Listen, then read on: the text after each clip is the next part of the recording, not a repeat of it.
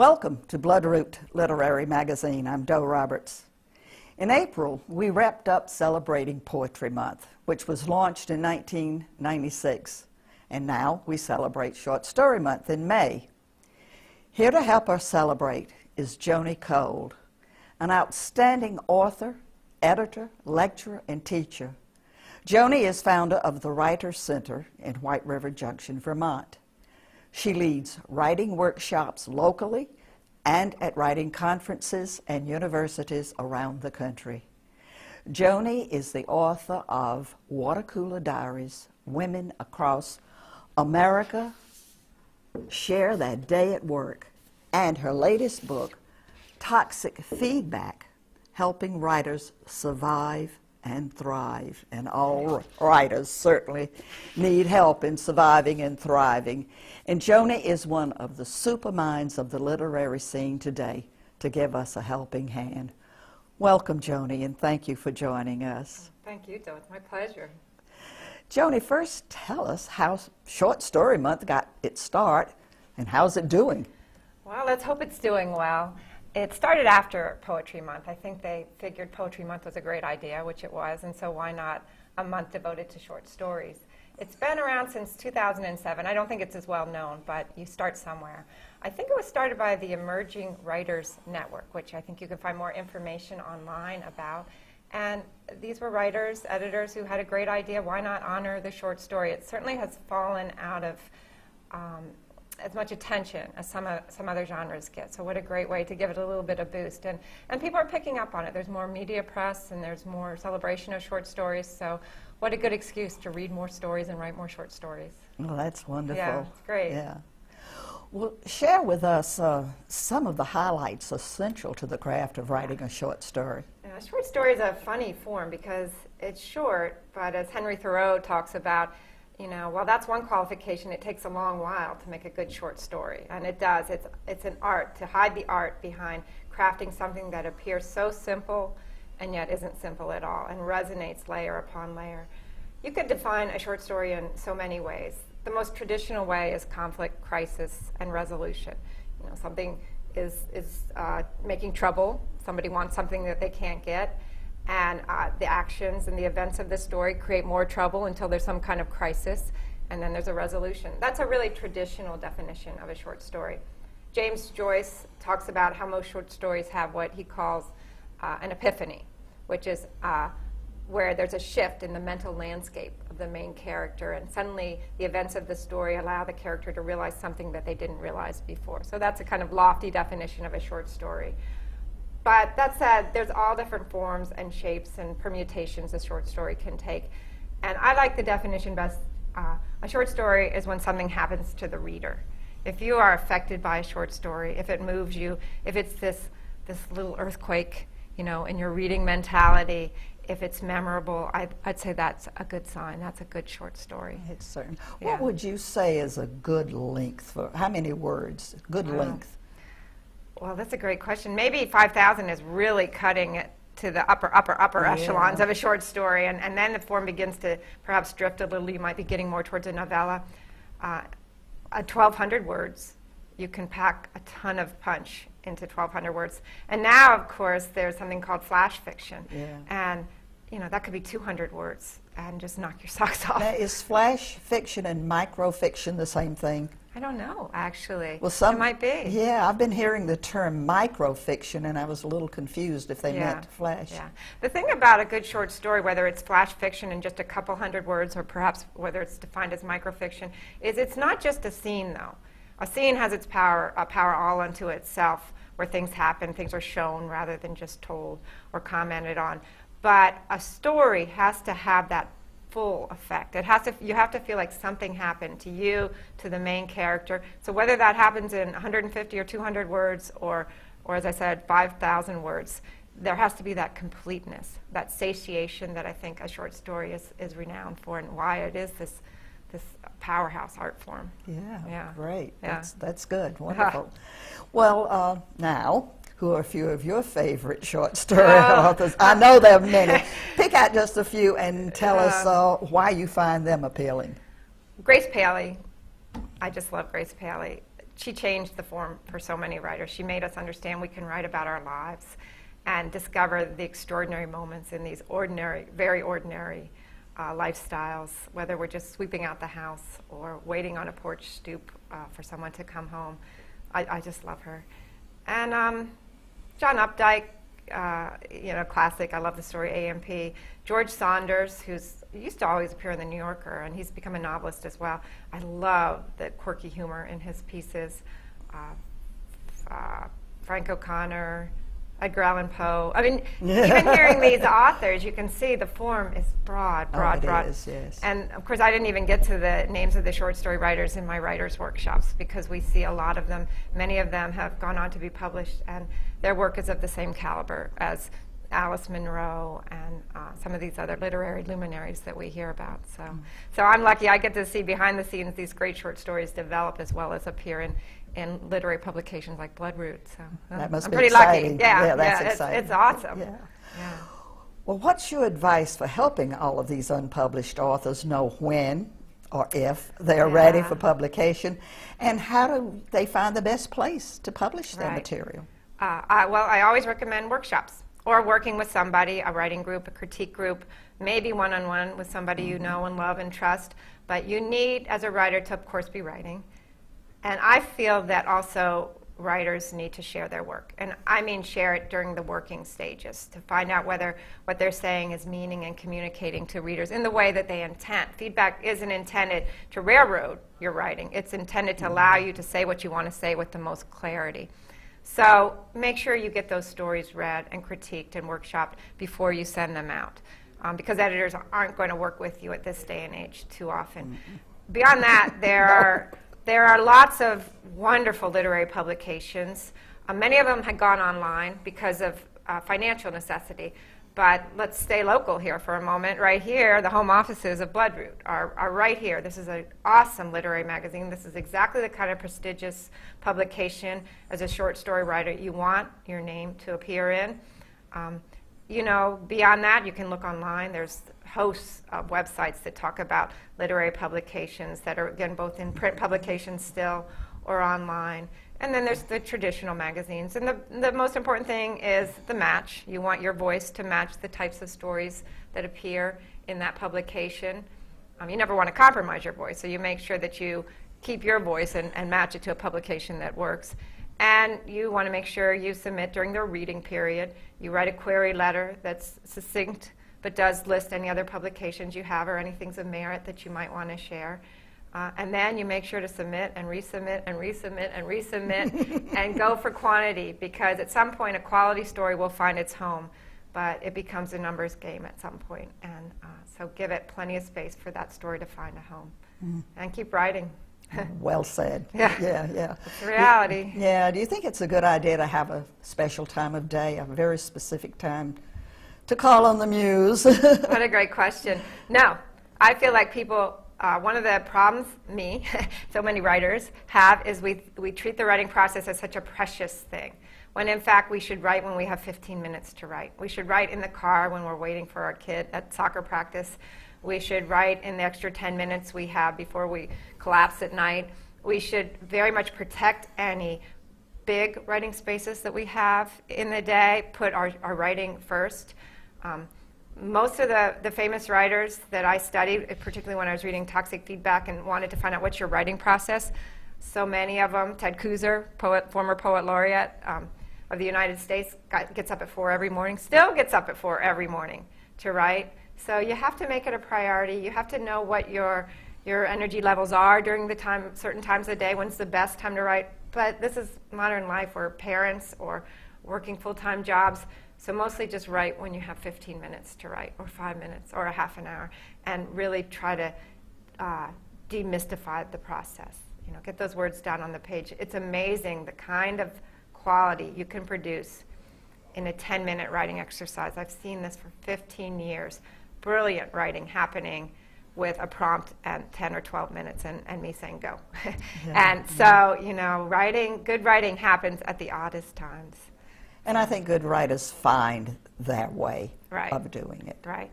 It, yeah, it was Picasso who said, "Inspiration exists, but it has to find you working." Yeah, So, exactly. exactly. You got to sit there. You got to be ready for yeah. it. Yeah. Be trained. Well, thank you so oh, much, sure. Joni. It's Thank just a pleasure to have you. Yeah, and congratulations on Bloodroot. I, I hope to submit myself. Oh, great. it's- I love it. It's a great publication. Well, thank you so very much. yeah, sure. Joni Cole. And now we turn to international author, teacher, and Bloodroot editor Dolores Netzband. Dolores will read a short story from the 2010 edition, which I don't have to hold up because it's on the screen, uh, of a story by Jennifer Springfield titled Virginia State Map. Uh, Dolores Bloodroot has published a number of short stories since we started in 19, oh no, in 2007. Um, why did you select this particular story to read today? Well, I, I chose um, uh, Jennifer Springsteen's story because I think it exemplifies what's best about the short story. I think uh, what Jennifer Springsteen did was she uh, distilled the best in language, well crafted language, and imagery, and put it all together to um, give us the height of emotions and feelings as well as themes. That's why I chose her story. And there are a lot of feelings in this story. Oh, yes. I remember when we first read it for Bloodroot, we were all taken with this story. Yes, Yes, very much so. Well, thank you, and will you now please read for us? Virginia State Map by Jennifer Springsteen. Inside their pockets, hands fell deep, fisted, split, and red knuckled, anger contained.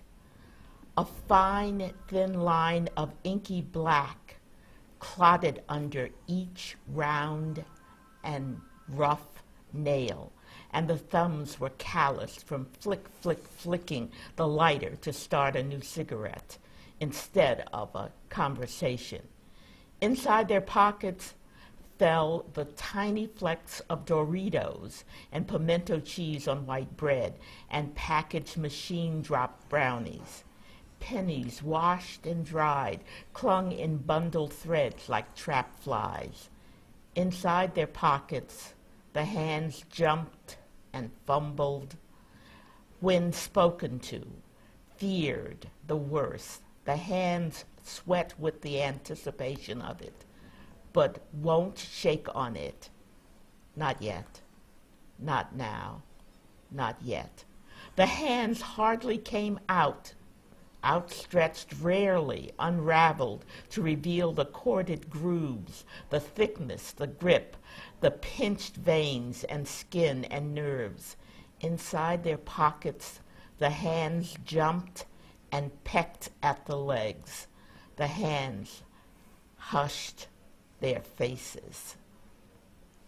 Her car swept into the gas station, past the pumps, and up to the open mouth of the garage, where the men were playing cards just before.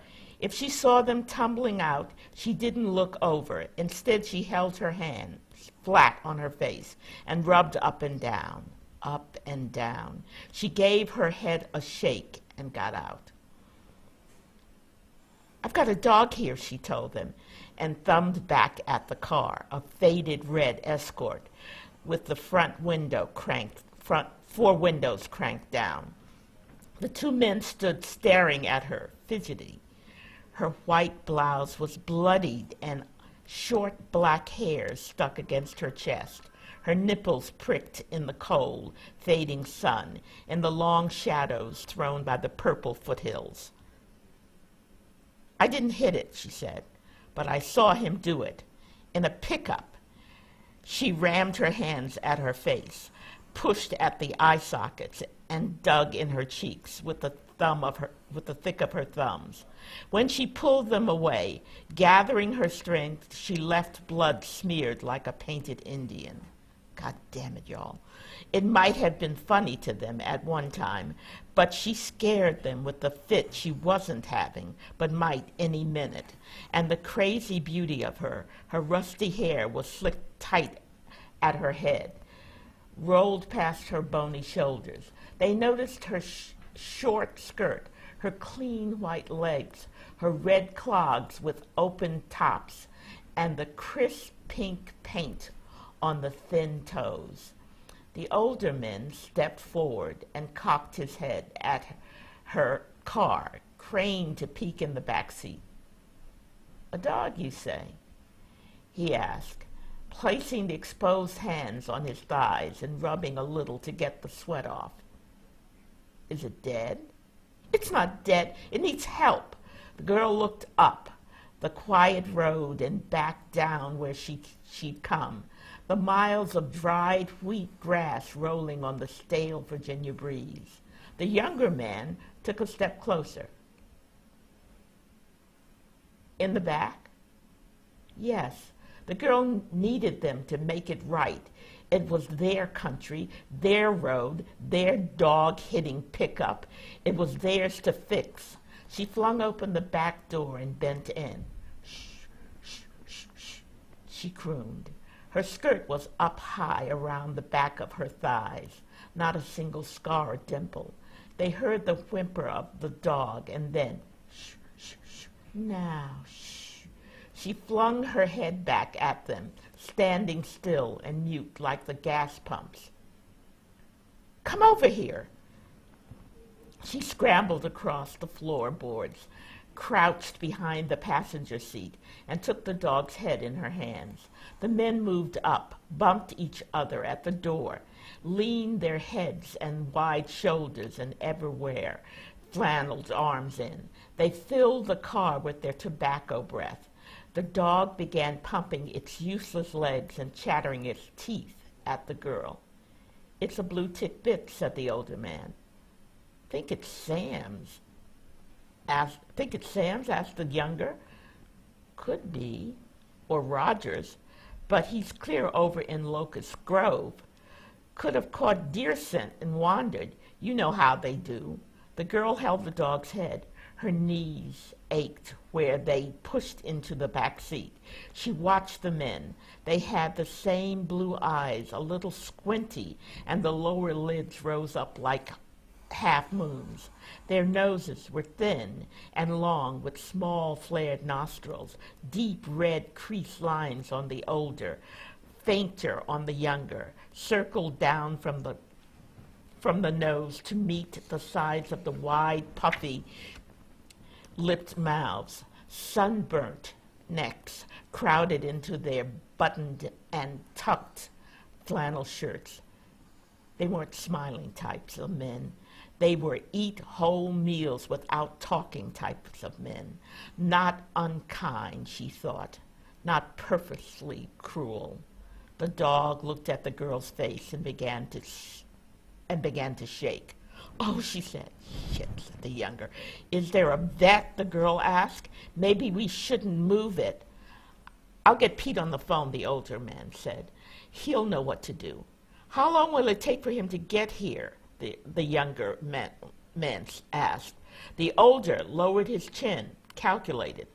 I'll get the shotgun, he said. No, the girl told him as he ducked out of the car and headed back into the garage.